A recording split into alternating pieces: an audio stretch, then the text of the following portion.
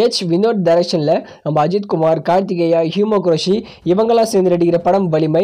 இந்த படத்தை பிப்ரவரி இருபத்தி நாலாம் தேதி தேட்டரில் ரிலீஸ் பண்ணியிருந்தாங்க பேன் இண்டியன் படமாக ஆனால் இந்த படம் எதிர்பார்த்த அளவுக்கு இல்லை தான் ஏன்னா நம்ம வினோத்க்கு லாஸ்ட்டாக ரிலீஸ் ஆன தீரன் அதிகாரம் சொதுங்க வீட்டுலாம் வேறு லெவல் ஹிட் அதனாலேயே வலிமை படத்துக்கு ஒரு பயங்கரமான எதிர்பார்ப்பு இருந்தது. ஆனால் கண்டிப்பாக இந்த படம் பூர்த்தி செய்யலை. அதுக்கு முக்கியமான காரணம் இந்த படத்தோட ஸ்டோரி தான். இந்த படத்தில் ஒன்றுமே இல்லை. ஆனால் இந்த படத்தில் எது இல்லையோ இருக்கோ பைக் ஸ்டண்ட் பார்த்தீங்கன்னா வேறு வேறு லெவலில் இருக்குது இந்த படத்தில் ஒரு வேற லெவல்னு பார்த்தா அந்த பைக் ஸ்டண்ட் தான்.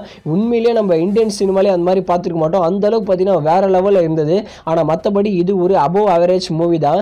இந்த படத்தோட கலெக்ஷன் கூட பார்த்தீங்கன்னா யாருமே சரியாகவே சொல்ல மாட்டிருக்காங்க. அது நான் வேறு வீடியோன்றது நான் பண்ணிக்கிறேன். இப்போ என்ன அப்டேட்னா வலிமை படத்தோட ஓடிடி அப்டேட் பற்றி பார்க்கலாம். வலிமை படத்தோட சேட்டலைட் ரேட்ஸை ஜி தமிழ் வாங்கியிருக்காங்க. வலிமை படத்தோட டிஜிட்டல் ரேட்ஸ் நம்ம ஜி ஃபைவ் தான் வாங்கியிருக்காங்க.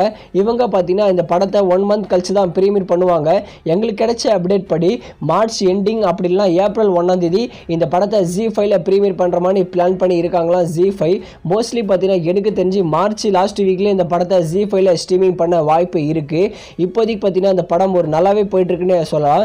இந்த படத்தை இருபத்தி எட்டு நாள் கழிச்சு தான் ஜி ஃபைவ்ல ஸ்ட்ரீமிங் பண்ணுவாங்க. அவங்க அஃபிஷியலாக சொன்ன உடனே கண்டிப்பாக நான் உங்களுக்கு அப்டேட் பண்ணிடுறேன். ஓகே ஃப்ரெண்ட்ஸ் யார் யாரெல்லாம் வலிமை படத்தை தேட்டரில் பார்த்தீங்க அந்த பைக் ஸ்டன்ஸின் உங்களுக்கு எப்படி இருந்ததுன்னு மறக்காம கீழே கமெண்ட் செக்ஷனில் கமெண்ட் பண்ணுங்க.